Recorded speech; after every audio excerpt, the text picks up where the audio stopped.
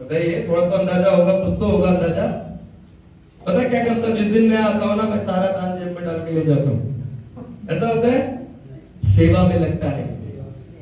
Hallelujah सेवा में लगता है। यहीं की सेवा में लगेगा। प्रभु का वचन हमें सिखाता है कि हम दान दें। हाँ? जब हम दान देते हैं ना, जब हम अपना हाथ देने के लिए बढ़ाते हैं तो प्रभु कभी हमें ऐसा नहीं करने के लिए बोलेगा। प्रभु बोलेगा कि हमेशा इसने अच्छे कामों में बोया है, जितना ज़्यादा आप बोओगे ना, उतना ज़्यादा आप काटोगे प्रभु का वचन यही सिखाता उतना काटने में आपकी मदद मिलेगी।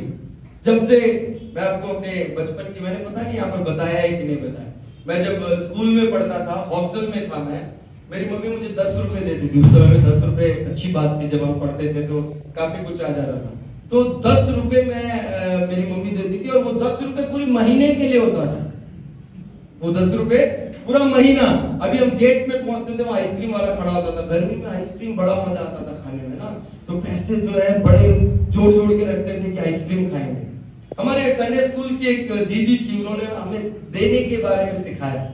उन्होंने बोला, जो कुछ भी आप दे सकते हो, है ना, वो दिया करो ताकि क्या परमेश्वर आपको भी और आशीष दे तो मैंने चार संडे के लिए दस रुपए में से चार रुपए अलग कर दिए।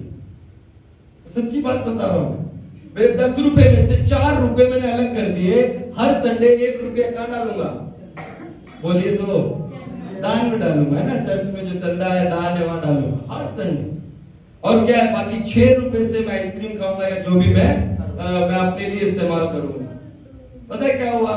मैं जानता था मेरी मम्मी पापा बहुत मेहनत करते हैं मेरे पापा साधारण सा सैलून शॉप रखते हैं मैंने आप लोग को पहले भी बताया है। मम्मी मेहनत करती थी दूसरों के घरों में काम करती थी। तो जब भी आते थे ना हम डिमांड नहीं करते थे।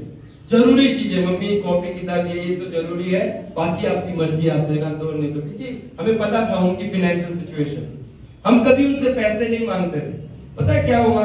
उस महीने जब मम्मी आई ना मम्मी को पता नहीं क्या हुआ? दस की जगह उन्होंने बीस रुपए देना स्टार्ट कर बोलिए।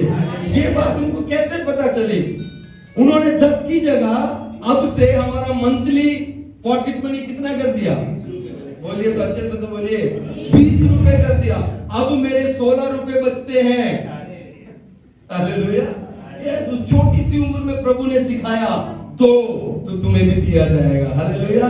देने वाले बनोगे तो तुम्हें भी कभी कमी नहीं आएगी। और ये पता है, जब आप दो देते हो ना, देने के बाद ना इंसानों से अच्छा ये देगा या वो देगा, किसी इंसान से नहीं। प्रभु से, क्योंकि प्रभु देगा उसका बदला। परमेश्वर आपको उसका फ़ायदा देगा, प्रभु आपको बरकत देगा। परमेश्वर कभी आपको बेकार नहीं रखेगा, हालेलुया। कभी आपको वो निराश नहीं छोड़ेगा।